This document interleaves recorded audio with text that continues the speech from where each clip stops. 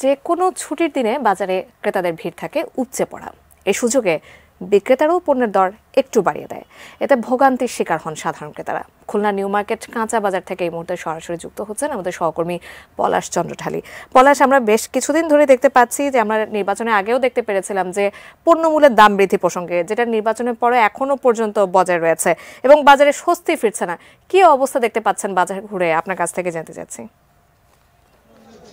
জাকিয়া, ধন্যবাদ আপনাকে। আমরা এর আগে যখন সংবাদে জানিয়েছি গল্লামারি থেকে সেই বাজারের চিত্র আর এখনকার যে বাজার রয়েছে, এই বাজারের চিত্র কিন্তু একেবারে আলাদা। কারণ গল্লামারি যে বাজার, সেখানে আমরা জানাচ্ছিলাম যে সেখানে প্রচুর কিন্তু ক্রেতাদের ভিড়, সকালে শীতের সকালেও কিন্তু প্রচুর ক্রেতারা এসেছে এবং সেই সুযোগে যে আমরা বলছিলাম যে একটু সেখানকার যে সকল বিক্রেতা যারা আসছে, তারা কিন্তু মোটামুটি একটু যদি বলা হয়, অন্য দিনের তুলনায় একটু দামটা বাড়িয়ে দিচ্ছে। কিন্তু এই যে বাজারে আছি, এটি এই বাজারটা মূলত যদি বলা হয়, নিউ মার্কেট বাজারে একটু এলিট শ্রেণির এবং এখানে তুলনামূলকভাবে কিন্তু এই আজকে ছুটির দিনেও খুব বেশি যে ক্রেতা রয়েছে এমনটি কিন্তু নয়।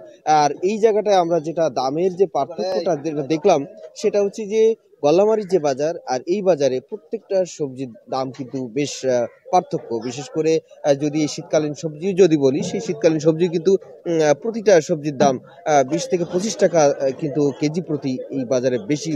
যে কারণে এখানে কিন্তু এই ভিড়টা একটু কম থাকে। অন্যান্য যে সকল যা কিছু রয়েছে রয়েছে এখানে এই বাজারে এখানে মাছের বাজার রয়েছে, বড় বাজার মুরগি বা যে মাংসের যে বাজার, সেসব বাজার যদিও অন্যান্য জায়গার তুলনায় কিছুটা প্রায় একই রকম।